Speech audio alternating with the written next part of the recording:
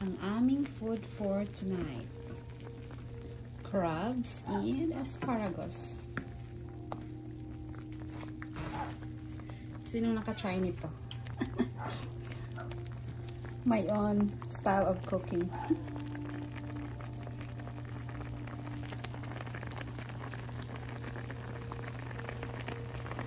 Dinner served.